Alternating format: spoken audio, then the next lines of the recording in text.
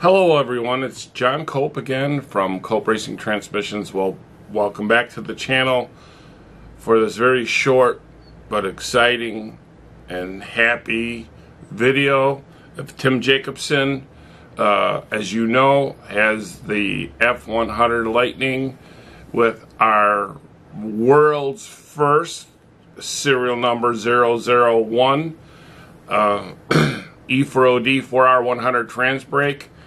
Uh, and Tim's out there in competition, and he is just kicking butt. Uh, I, I, could not be so so more proud of, of Tim.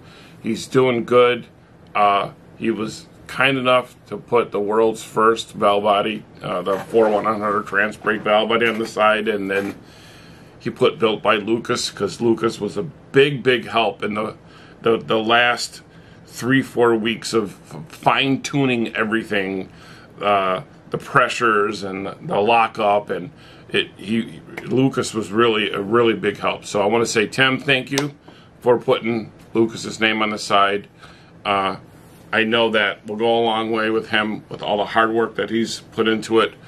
Um, we are are proud of what you're doing with your truck, and so here's a few passes of Tim uh, at Martin, Michigan. I was supposed to go up there. I didn't make it. I was being lazy. I decided to go to the cottage instead.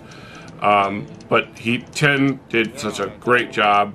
I, I, I took a couple videos uh, from his daughter, I believe, who took a couple videos and put them together for you. So I hope you enjoy them. Again, way to go, Tim. You did a great job.